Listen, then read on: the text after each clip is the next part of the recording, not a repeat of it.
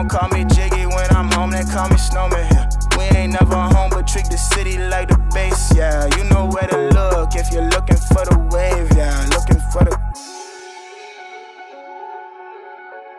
What's happening? What it do? What's going down? Welcome to another episode of the EuroSteppin Podcast. Excited about this one today. High level player that's on the show. But I know I got to ask this question every time we start.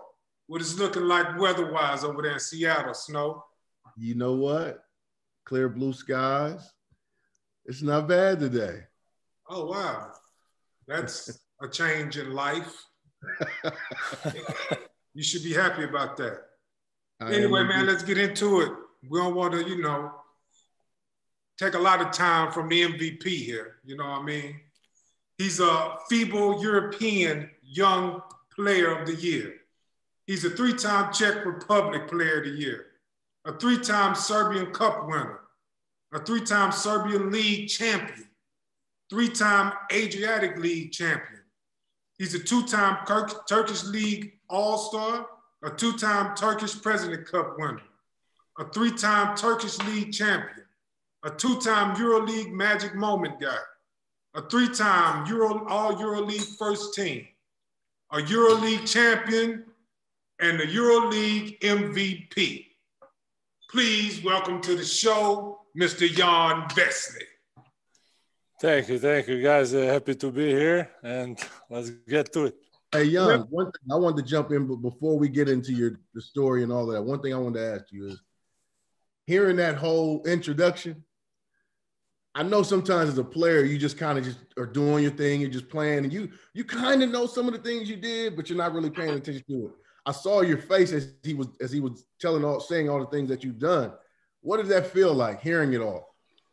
Uh, to be honest, uh, when you started with uh, with the you know Serbian uh, leagues and then Serbian like ABA leagues, uh, championships, you know, it's uh, it's a long time ago, but when you were talking about even more, you know, all the accomplishments I, I did, you know, it's uh, it's made me realize how old I am first of all, and then uh, you know, it's it's a hell of a career, you know, to to be honest, and to be like before before we joined in like 15 20 minutes ago we were just uh, in the office unpacking because we just moved uh, one month two months ago to the new house and we were unpacking all the all the trophies and then uh, with my wife trying to rearrange uh, uh, the, the, the bookshelf.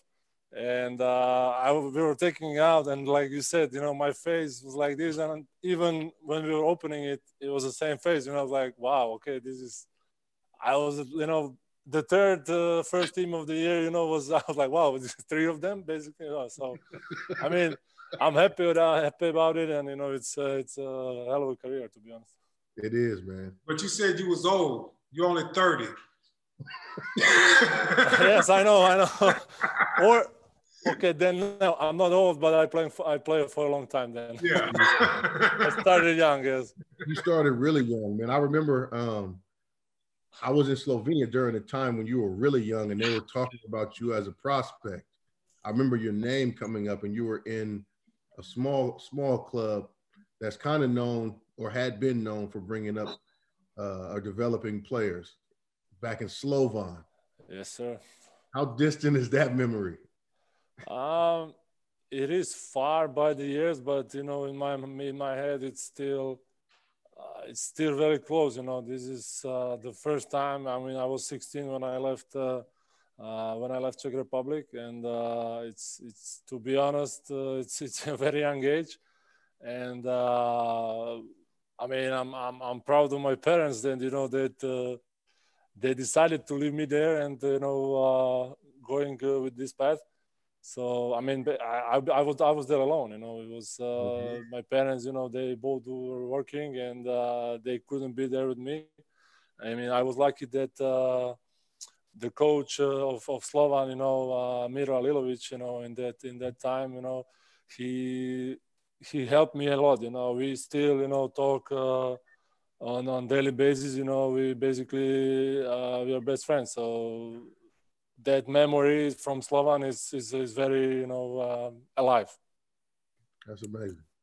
Well, let's get into it, man. Let's get into it. Jan, I want to let you know the first time I ever heard the name Jan Vesely, I we actually interviewed one of your own teammates, also James Gist, when you guys okay, James. right? And I told James, I'm gonna tell you the same thing. You guys probably had one of the most athletic teams at the time. I agree. man, how fun was that, man? That had to be an amazing time because every time I looked up, it was either you having a dunk or James having a dunk or your big five man Jody White dunking. It was somebody always dunking. It just looked like a fun time. I mean, uh, yes, uh, uh the, the, that was uh, that was my last year, and uh, uh, we had we had you know great time you know playing. You know we enjoyed you know playing defense. We tried to you know play great defense and and try to get the open fast break, you know. And uh, you saw you saw some highlights for sure uh, from those uh, moments, you know, just running to fast break and just dunking, you know. Even if you go to uh, two on zero, we just you know don't know who's gonna take the dunk, uh, you know. So it was uh, it was it was good times, you know. I I really enjoyed it, and you know it was it was great to play with him, and you know all, all the team, you know, it was it was great, you know, and we we're dominating so basically, you know, we, we we had amazing amazing time. From the European side, we, we interview a lot of Americans. How do you guys, let's say you for example, how did you get started playing professionally? Because I know that you started at a very young age, as we already said, like you have a lot of accolades. What what how old were you when you played your first your first professional year of basketball, how old were you? Uh, I was 16 when I was uh, first professional, maybe 17 to be honest. Yes, uh, 17. Uh, because when I came to when I came to Slovan, uh, I, I, signed a contract, but uh, there was there was problem that I was not 18 yet, and I was basically not allowed to leave the country. So mm-hmm. if I'm under 18, I cannot go there so i didn't have the permission to to to play my first year so basically i was just uh, practicing uh, with the with the young team and uh, playing just for uh, school you know where i was taking just classes of english and slovenian because i didn't speak any english when i went to slovenia. That's that's also another fun fun fact that i didn't speak any english any slovenian. And uh, basically for first month i was i was quiet. And uh, but you know after that it got fixed uh, by some time uh, that i was able to play. So 17 i was when i started playing you know in the first professional game and uh, in, the, in, the, senior team. That's a i'm glad you brought up that point um, about the different languages you speak. Um, i think dave and i were having this conversation but uh, i wanted to ask you you now you've just mentioned now that you speak at least three languages. Are there any other languages you speak? One that's part that's the first half of the question. The second half of the question is um, what do you think is the general perspective of players who have american teammates come over and they only speak english um, okay, let's go from the first half. Uh, I mean, I speak three languages. I speak uh, Czech, that's my that's my native language. I speak Serbian because I played three years there. My wife is Serbian, so and we speak at home Serbian. And I speak English, you know, because basically because of basketball, and uh, I left when I was young, and I heard, I learned English uh, through through basketball um, so that's that's the three languages. And uh, what's the perspective of uh, coming American players, you know, to to Europe and playing with us? Uh, I mean, it's it's okay, you know. Nobody like uh, I don't think nobody thinks about it uh, in any way, in a good or bad way. Uh, I mean, English is it's you know the first language in the world basically, and that's the language that everybody speaks. You know, coaches speaks, even if it's Serbian coach, if it's a Greek mm-hmm. coach, if it's Spanish coach. You know, uh, most of them you know speak uh, speak English, and uh, the the language is in in the team it's uh, uh, it's English. You know, so uh, I don't see I don't see some uh, difficulties, you know, uh, with uh, with the language. Right. So, John, you go ahead, Dave. The different countries you've been in, I know that, you know, coming coming over, starting at a young age, leaving home, because I'm gonna be honest, I don't know if my mother would have let me leave and go to another no. country at the age of 17. Not a chance. So ever since then, you left home, right? And you've been to what two or three different countries that you played in. Actually, four, because you also played in the NBA. Yeah. What was one of your major culture shocks when you went to these countries? What blew your mind that you seen that country do? Where it was like, man, I can't believe this, they do this, or I can't believe I see this. Because, for example, one of mine, when I seen that hole in the ground when I came to Turkey for the toilet, that was a major ah, shock. okay. uh, yeah, okay. Uh, I think maybe you'll be surprised, but for me, uh, the biggest shock of my career, you know, to where I played was uh, to come into United States. To be honest. Okay. Uh, because okay, I was uh, I was very young to go to Slovenia, so I spent there two years, and uh, I got the feeling of the culture. For 16 year old, you don't uh, even know anything basically, so you don't know what is the culture of Czech Republic and, and stuff like that, you know. So you just uh, go with it.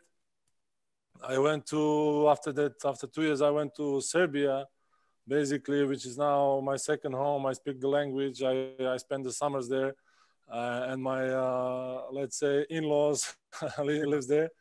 Uh, so I took the culture as my own also. So there was not a surprise for me. Then I went to when I was 21, I went to States, mm-hmm. and you know everything it's uh, uh, by the rules. Everything is like, uh, for example, I will just say the, the, the stupidest example. Uh, you talk with somebody, hey, you know what, do you want to go for coffee? And the, the, that somebody tells you, hey, okay, let's go next Thursday. It's like, but I was about to go now, and like you don't want to go right now with me. I was like, okay, so I mean, everything had to be planned in, in up front, like you know, in Serbia or in Balkans, you know, we just hey, you want to go? Okay, let's go now. You know, just yeah. uh, just just here for 10, 15 minutes, one hour, doesn't matter, and you go. So. Uh, uh, for me was uh, for me was like you know this uh, I mean, I went I went very young also, and uh, that was the biggest uh, the biggest thing for me to to be honest to go to United States, you know, and uh, and see uh, everything by the rules and stuff like that. So I don't know. It's for me Europe and uh, this stuff. It's it's very easy to be honest. Yeah. Yeah. Let's jump into some of your um, some of your actual actual playing career. Um, before we talk about all the places you played, um, one of the things we like to ask on the pod is who's maybe the best player you played against in Europe? The best player I played against. A player that gave you maybe that for that one game gave you, you know trouble while, while you was guarding him. He just maybe kept scoring on you. You couldn't stop him. You couldn't figure it out. Uh, to be honest, I mean, every season it's you know I've been seven years now in Fenerbahce, and uh, and uh, every year you know everybody is different. Uh, everybody's in different uh, shape and and and uh, and stuff. Um, I mean, I'm not I'm not the greatest defender on the low post. I mean, so basically in Europe, you know, it's easy. You go trap from baseline, you go trap from the top, and then you rotate or something if that player is uh, too dominant. Um, but I, I, like to I, I love to play defense against uh, against the guards, you know, and to, to play switch defense and you know uh, and try to challenge them. Uh, to be honest, on that, that's why you know I would say uh, on this I would say Mike James. Hmm. Um, I mean he he has a let's say a big bag of tricks you know what to do and uh, how to how to beat the player right uh, so uh, it's, it's it's not easy it's very challenging and uh, you know even even if he score like you know uh, some crazy crazy tough shot, and I know I played a great defense, and you know it's uh, it's you know it's I I run back and say you know respect him, this is a crazy shot, and it goes both ways, you know, and I mean. Uh, I stopped him a couple times, you know, during these years, and we played against each other, you know, and uh, he's the same, you know. He now I don't think he feels that comfortable, you know, to going against me. So I mean, uh, it's it's I, I, I, like this challenge. You know, it's I like to I like to switch on him and like you know play and do my best, you know, to stop him. And I know that it's not it's not easy. Mm-hmm. You at Fenerbahce, you played for maybe arguably the best coach in Europe ever, legendary coach uh, Zeljko Obradovic. Um, how was it playing with him? Because I know he's a hard nosed coach. He don't take no bullshit. You nope. know, I've seen him on the sidelines. Even when I played against him, he, you guys could be winning by 20 points. He's still a hundred on the sideline. Yep. How was it playing for him? Uh, it's uh, it's been my best years, you know, uh, of, my, of my career. I mean, except okay, Partizan that even when I, when I started, but uh, when I look back, you know, uh, I spent uh, six years with him, and uh, we have we also had a different relationship, you know. So uh, he could uh, took take some bullshit, you know, also from me, you know. So when the game when the game is you know on online and I'm busting my ass off, you know, to to go crazy in defense. I'm uh, really I'm trying everything, you know, to to to play good game and you know playing good defense. And then for no reason, you know, he's just yelling at me, you know, last five minutes of the game, and it's like, hey, come on, hey, you did this. Okay, one mistake I did, and he's yelling at me, and yeah. you know, I flipped out, you know, I turned to the bench, I started yelling at him. Uh, so we go back back and forth on each other, and. Uh, but you know, and we won the game, and I go we, we go back to the locker room. I say, hey, listen, Zeljko, you know, it's nothing personal. You know, he said, I know this is you know part of the game. So uh, for me personally, you know, was a uh, was a great relationship and uh, uh great times, you know, with him uh, on the court uh, I really enjoyed it. You know, it's it was it was a great experience. But like you said, you know, you can be up 40 and uh, he's still, you know, yeah. uh, if you have the ball and you have 15 seconds left, it's not like you know you cross the half court and dribbling the ball. He really he wants to go and play until the end. Yeah. And then you know all the opposite team is going crazy, you know, on us. Why uh, why we are being disrespectful? It's like oh my coach is busting our ass to go and play the last uh, last offense, you know. So I mean, this time sometimes you know these things were uh, a little bit too much, but you know this is how he how he is, and you know we understood that, so we had to play until the end. right. Out of all these, um, all the years you've played in Europe, what would you say was your your favorite?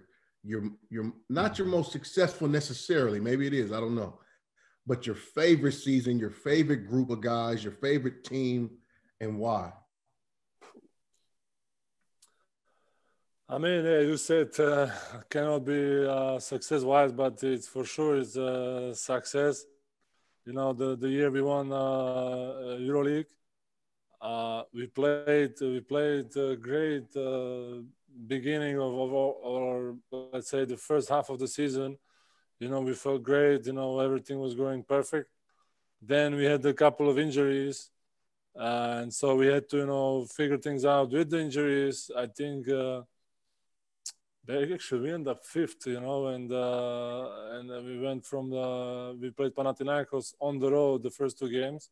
Mm. So, and we knew that was the final four at home in Istanbul, so we have to go there and we have to win, you know. And you're starting away in Panathinaikos, which is yeah. the craziest arena basically you, you can play. Uh, so, but by that time, by that uh, the playoff came, you know, everybody were healthy and everybody you know, were feeling great and extremely motivated because uh, the years before we couldn't make it, and uh, and uh, that year we said, okay, oh, it's at home. We have to we have to do it. That's uh, there is no question. Do you mind sharing with the viewers um, what year that was, and maybe name a few of the guys that were on that team? It was 2017, 16, 17 season. Uh-huh. Um, okay, who was on the team? It was uh, Bogdan Bogdanovic, uh, Ekpe Udoh, you know, Kostas Sloukas, uh, Gigi Datome, Nikola Kalinic, you know, Pero Antic, you know, all, all these guys. Yeah. Uh, uh, we were on team, and uh, like I say, it was, you, it was not easy. The middle of the season was not easy at all. You know, you know, you had to play. Uh, I had to play most of the time on the floor because the foreman was injured, or uh, everybody had to rotate. You know, take different different positions. Uh, but you know, on the end, you know, we, we got the we got the championship, and uh, it was it was an amazing amazing feeling. But you know, even even the the, the group of guys, you know, were was amazing. Uh, we were together for a long time, even after that, you know. So uh, with with all, most of them, we play like for uh, five years. Oh wow! So that's a long time. Yeah, yeah. In Europe, especially because uh, Europe sometimes can be a revolving door. Uh, yep. You're not going to be on a team where you're going to have the same players every year. Yeah, yep. some I noticed a lot of teams in Europe who switch their teams up every year. Mm-hmm. Oh, that's uh, I don't know. I don't know how I would be able to do it. Really, this is for me. And I'm basically, you know, that's how we started this year. You know, we changed the coach, we changed a lot of players, and until you get used to all this system, all the new players, you know, to figure out who who does what, in offense, in defense. I mean, it's half of the season, and you know how our, our season started. So basically, yeah. it's uh, it's not easy thing, you know. And I think these things need pro, uh, needs time and uh, needs uh, uh, to process. You know, everybody wants to have everything immediately. I mean, that's not possible in in uh, in anything, you know. Yeah, right. Yeah, since you played in EuroLeague, you also played the NBA. Can you give us uh, what you what you feel the differences with both are. Like, what's the difference to you between EuroLeague and the NBA? Okay, I cannot speak for all NBA. Uh, I can speak for my times uh, that I was in Washington. Wait, wait, and... wait. Before you start, we know the situation you was in in the NBA. You wasn't in the best situation being playing for the Washington Wizards. Yep. But that's what I'm saying. Like you're asking, I, I think you you are asking the wrong guy uh, this question. So, uh, I mean, I can I can compare I can compare uh, my time in Denver. You know, on this on this level, that was uh, uh, a better system. You know, and was a little bit more team uh, oriented playing of basketball. Uh, but like you said, you know, in Washington, it was uh, it was um, the time when I was there it was not not not the good times. was that the time Gilbert Arenas was there and the whole locker room gun thing? That was the I came the year I came that summer after that. I mean that happened in the summer I think, and I came after that. So basically I came up three four months after that happened. So. Yeah. Imagine, imagine how everybody feels. Not only the players, the the physios, the equipment managers, coaches. You know, I mean, it's it's a, it's a not great situation, I would say. and for me, you know, coming from Partizan, where it's you know system, you know, everything is like lined up. Yeah. Uh, I mean, this you can you come there and I don't know. It's so I think this this question is for somebody else. okay. Well, well, what about the, the game itself? Just actually like stylistically the way the game is played? No, I cannot say. I cannot say NBA is not a team uh, team basketball. I mean, it is, but it's more uh, individually oriented uh, basketball. You know, in Europe, it's uh, first of all, you know, defense is three second violation. I mean, rule. It's uh, that's the biggest help in Europe that you can play, you know, team defense and you can uh, be ready, you know, to help whoever needs help on the court like this in uh, in the NBA, you know, it's you have to stay all the time thinking, you know, to come out with the both feet, you know, or touch somebody running through the through the paint. It's not it's not easy, and I think you spend more time of thinking about this than to to help somebody in in the defense. So I mean, I would say I think for me that was the biggest uh, the biggest uh, thing. You know what I keep hearing? I keep hearing from you um, a lot, a lot of conversation about defense. And I think that that's really interesting because most guys we bring on the pod, or most guys who just play basketball, period, anytime you have a conversation with them about basketball, it's going to be about buckets. It's going to be about them scoring. It's going to be about what's in their bag. It's going to, right? But over and over and over and over and over again, I'm hearing from you the other side of the ball. What is that? What, where did that start for you? What, where'd that come from? Why are you so uh, adamant about playing really strong defense? Why is that so important to you? And where'd that come from? Uh, because I don't have the bag of the buckets, you know. and, uh, uh, no, okay, okay. I mean, uh, I was I was talking in a, in a lot of interviews that I did with with the journalists and stuff. Uh, I I mean, my my style of basketball. Let's talk about offense now. We don't talk about defense, and uh, I am okay, I'm, I'm a five man, you know, you, as a five man, you can still score on the post and stuff. But again, that's not my strength.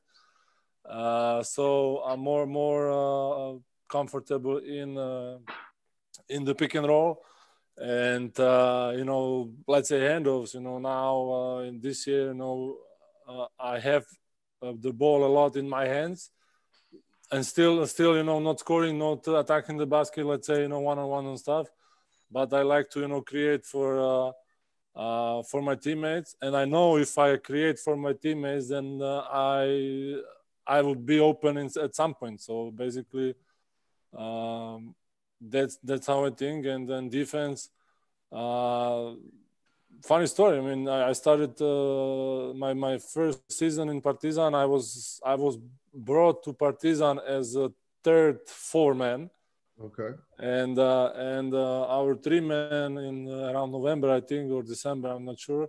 Uh, our three men got hurt, and uh, and coach uh, Put you at coach three. told me, yes, and I was playing in the Partizan. I was playing the three men. Mm-hmm, I remember. James, yeah, Yeah, and- me that. James had to remind me that you played the three. Yes, sir.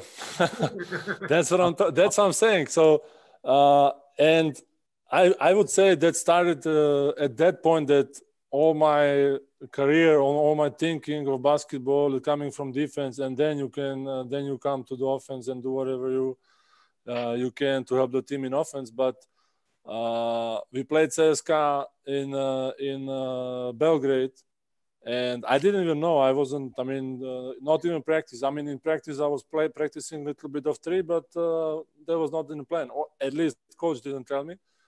Uh, but coach came to me 45 minutes before the game, uh, and he said, like, you're starting at the three, and you are guarding Ramūnas Šiškauskas, which which is you know a legend on the three position, you know Right.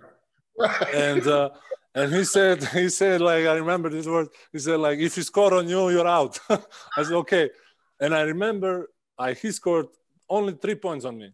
I I remember also the stupid help I did. I mean I help from a strong side, and there was a pass outside on him, and he scored an open three, and that's only three he scored. And uh, basically that's how my career started. Uh, Wow. in Partizan, and I was uh, from that moment I was never out of starting lineup uh, until I left uh, Partizan.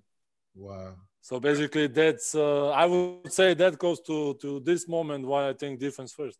Mhm. Yeah, you- you say that you know you're not a you know that's not your game, scoring with your back to the basket. For but for people who don't know, who watch or listen to this pod, your game is dunking on people's faces. well, let's say this. The disrespect. That is, yeah, that, that is your game. that is your game because I've seen a lot of guys that you dunked on over the years. yeah. I play many years now, so yeah, that is a pretty big number. Oh, that's, Yeah. But but I don't want to be you know the guy that is okay. I only dunk on everybody. I dunked. Uh, I dunk. I got dunked on myself many times. So So who who dunked on you? uh, there is a there is a lot of guys. You know, uh, in Europe, it's not. Uh, I mean, Othello Hunter. You know, uh, Nikola Milutinov. You know, all these guys. You know, in the past years. You know, now you have to. You know, if you if I play defense, I try to play defense first. I try to block the shot, and uh, sometimes you're late, and sometimes that happens. I, I came to one game, man. You guys was playing Istanbul Büyükşehir Belediye. This was man yeah. maybe five six years ago, right? And they had a big guy on their team. I think his last name was Stevens, like kind of strong guy. I can't remember. Ah, yeah, yeah, yeah, yes, yes, yes. The game was at y'all y'all gym at I think it was our gym. Yeah, I think you, I know what you're talking about. I don't know who dunked on who first, but it feel like it was back to back plays. Yep. I remember you caught the ball, somebody missed, and you just caught off the rim on top of him. Boom. Uh, and it seemed like the very next play, I don't know, maybe he was upset. And he just came down and turned, and you tried to jump and block his shot. He dunked on you. Boom! I was like, man, the sequence of play that was amazing. Yep, that's what I'm saying. Like you, you, you try to play defense, but sometimes you, you are late or. Uh... I mean, it's just it's basketball. Yeah, it's pretty much what it is. If you play enough, I mean, yeah, I mean, play hard, it's gonna happen.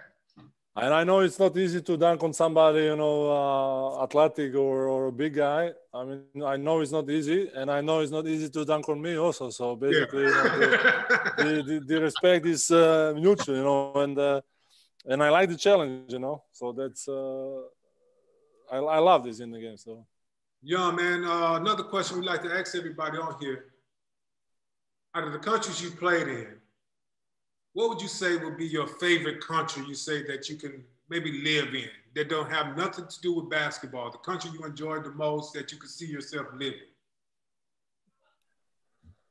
Hmm. Uh, tough question.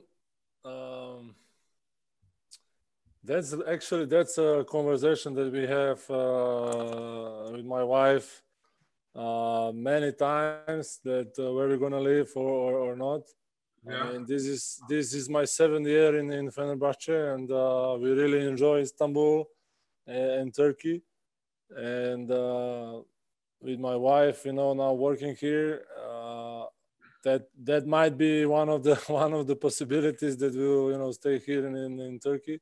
Yeah, uh, we'll see about that, but uh, you know, the things things might change. Um, I mean, I'm not. I don't think that uh, I would be deciding, you know, about you know basketball thing. You know, I like to. I would love to live in London. So, yeah. not not for forever, but you know, at least a couple years, right? And to see how it is. I mean, this is big big uh, question mark for for me. Right. Fair enough. Um, that actually kind of begs the question: when you say London, uh, why London? Are, are there some other things that you're into? maybe business wise, maybe why London?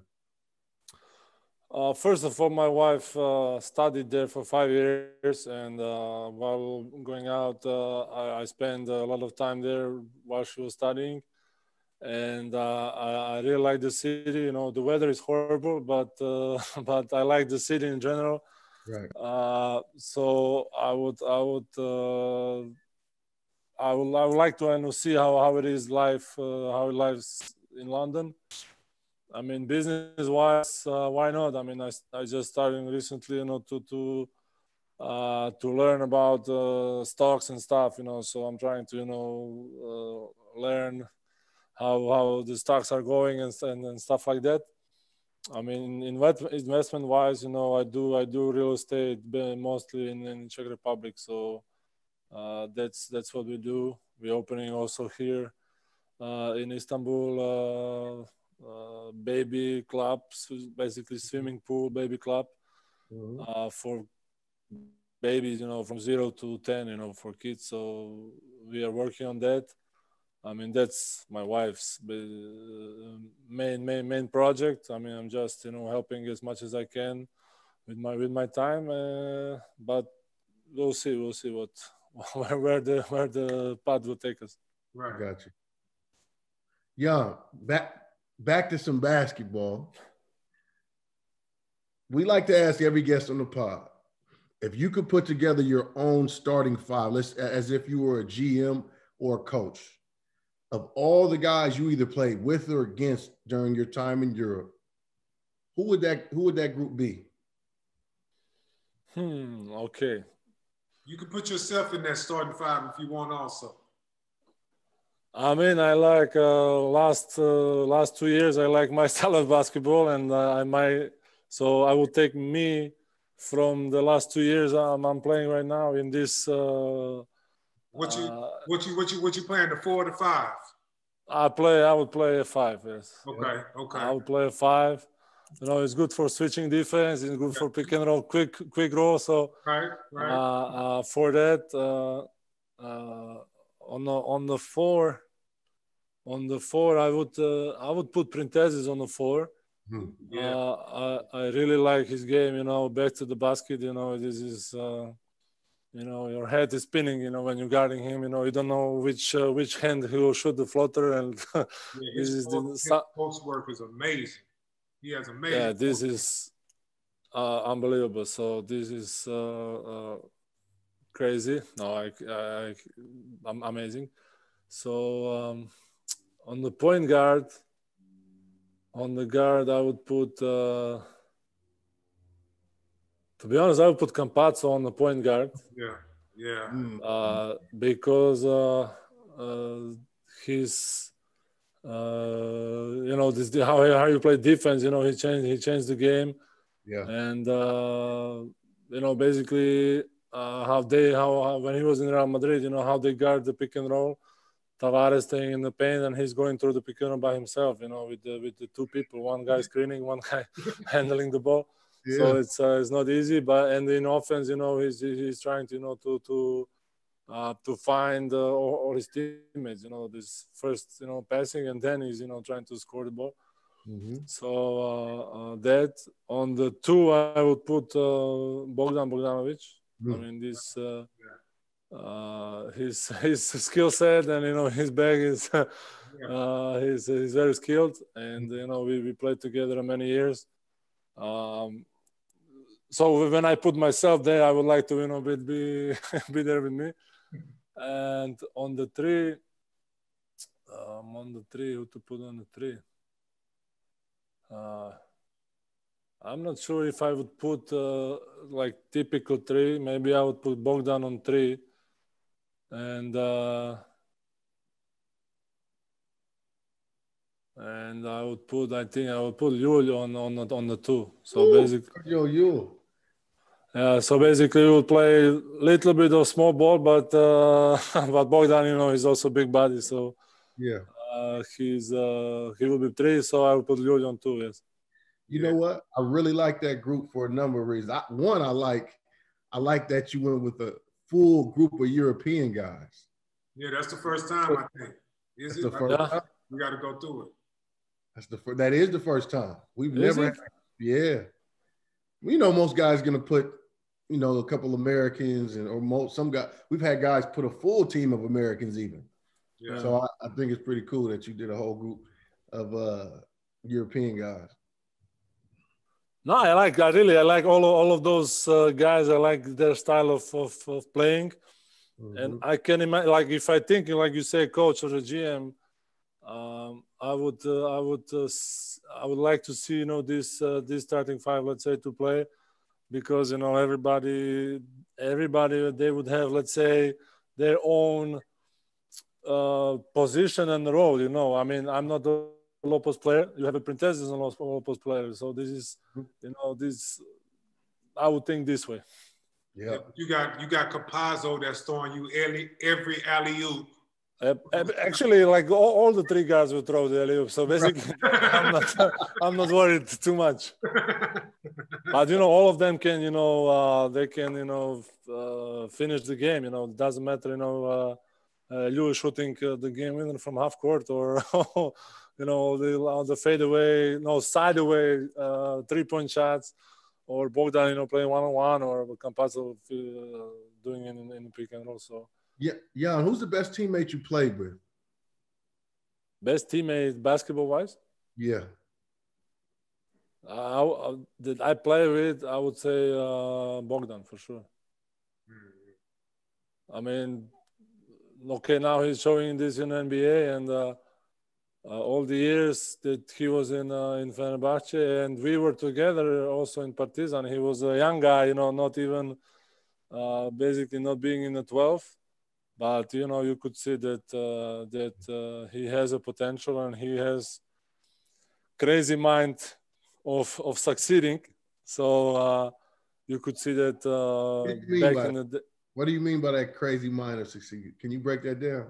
I mean, uh, for, for you guys, for Americans, that is like the, the, the, the work habit, and you know, you call it uh, this way, you know, and uh, the Mamba mentality. Work, work, work ethic, yes, yes.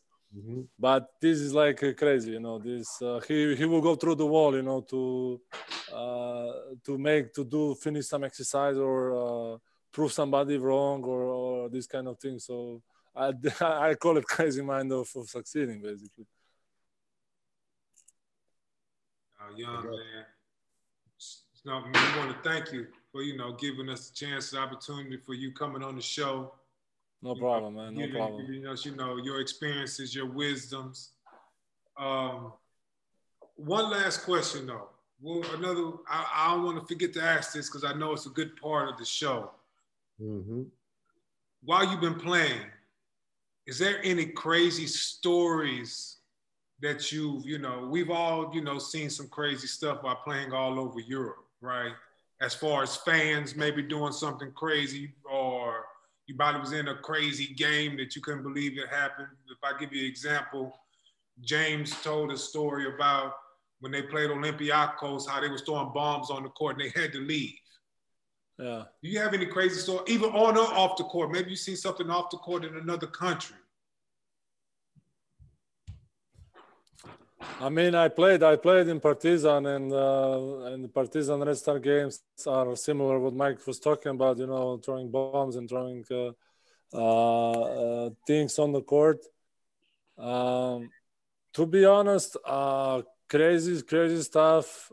Oh, actually, yes, I have a I have a good one. I think you can look it up on on uh, on YouTube after we played. That was my second season, so it was 2008, 2000. No wait, 2008, 2009. No, 2009, 2010, yeah.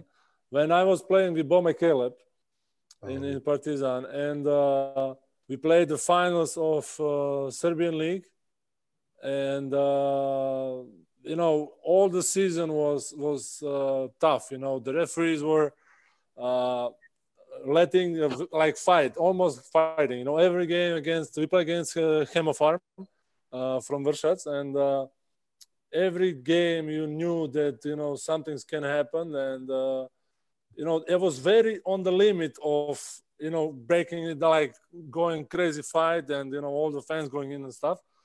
And it was like eight games like this and then the finals came we play in their place and uh, our two one of our five men and their five men got in the clinch and our our five men punched the the uh, their five. And then everybody start going on the court. Mm. i mean go on youtube and you will see or i, I will send you after. And uh, like all the benches are on the floor. All the players that don't not not are not even dressed are on the court fighting. It's like 30 40 people fighting like like crazy it's like madness you know so uh, and i'm in the middle you know i'm trying i don't know i don't know if i try to fight or try to split or this and i remember somebody i was trying to, i was holding somebody and somebody from the back punched me in my in, in, in my mouth and got my tooth broken. I was like, and so that was okay. We stopped. Uh, they ejected all the players, and we had to finish the game. So we finished three on three. So we finished the finals, the, the, the game playing three on three. Last it was like last two three minutes. So we played three on three and, uh, and finished the game. And I don't think we continued playing. They didn't come to our place after that, and we became champions after that, like that. So basically, I think that was the, craziest, craziest thing that happened to me, you know, during during my career. I mean, these fans things, you know, for me, I like it. You know, I uh, opposite fans cursing you or or or, or this kind of throwing stuff. I mean, for for me, for me, it's normal because basically I grew grew up in Belgrade and in this this atmosphere, and and I like it. You know, actually, Maccabi fans has a, has a song for me. I don't want to really curse on on.